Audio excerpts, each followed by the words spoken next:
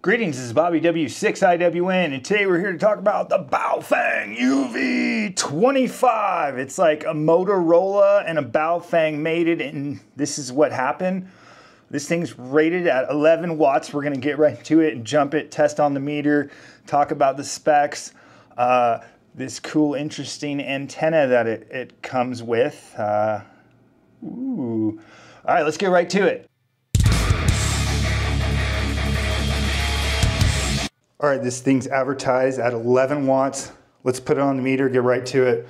Uh, I got a 50 watt dummy load. I got my meter here. I will be showing on a different camera. All right, testing one, four, six, five, two at 11. Oh, I saw it go up to like 1.8 there for a second.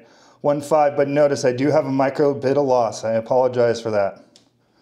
All right, let's go do 70 centimeters. 8.6, 8.57. So it actually, it does slightly over 10. It doesn't do the 11, but I've seen a lot of these radios rated at 10 and they don't even do five. So go Baofeng. All right, let's take a look side by side with its little sister, the UV5R. I mean, this is a F8P, whatever. It's all the same. So yeah, this thing is massive compared to it. Look at the battery is probably bigger than the radio alone.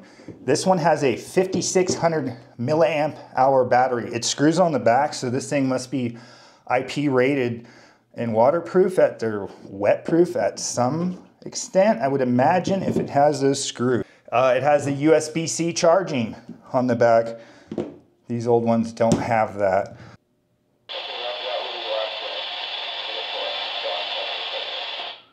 As you can see, it also has the airband feature. I got it laying flat on the table inside, so the reception isn't the best here, but that's another cool feature. It does have AM airband receive. It also has FM broadcast radio built into it as well. You just access it by pressing the button below the PTT once, and there's your FM radio. So if you hit this top button above the PTT, then you have your weather channels built in as well. That's a really cool feature. And then to scroll through them, you just use the channel button. I'm not sure if you can see it in the menu here because of the red font. However, it says a firmware version. So I'm going to assume that there's firmware updates. It says version 0.03. So if anyone knows how to update these firmwares, I think I do, so stay tuned. All right, let's talk about the features real quick. So this multi-band, as far as I know, it's 70 centimeter, two meter transmit. It does have the airband receive. We've got 5200 milliamp hour battery. That's the biggest battery. I have it on any HT that should last you a long time, uh, especially if you're using 10 or 11 watts, you're gonna need that. It says it has 999 channels, uh, the Type C charging, USB-C, I didn't think it was able to do docking earlier, but now I do notice it. it does have the things for the dock. Did, this one didn't come with a dock. Uh, frequency copy and a 1.77 inch color screen. Ooh, wait, what is frequency copy? Let's take a look at that. One key, frequency copy. Press and hold the SK1 button and place it near a radio you want to scan. Upon radio transmission, UV25 will display the frequency. CTCSS, or DS or DCS tones.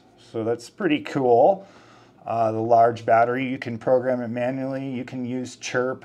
Uh, on the battery again, I'm really curious. It has it screws in like it has some sort of IP rating for dust and water. I don't see anything in the specs, uh, but that's pretty cool. And yeah, it has this big, big channel metal knob that has like a cage around it for some reason. I guess for durability. That's pretty cool. Uh, on Radioddity site, this thing is going right now at the time of the video for $56.99, and I'll put a link below in the description if you're interested.